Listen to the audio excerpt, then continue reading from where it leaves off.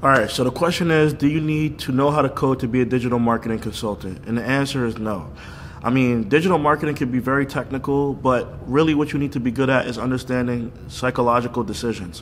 Why do people make the decisions that they make, and how do you influence people to buy stuff from you? So, the skills that you really need to focus on more so is copywriting and understanding buyer psychology. Understanding how to code can be a plus because there's many scenarios where it might be beneficial to know how to code. Like for example, if you want to build a specific email template and you want to code that to make it look how you want it to look, then that can be beneficial. But for the most part, you don't need to know how to code to be a digital marketing consultant. And that's the video. Peace.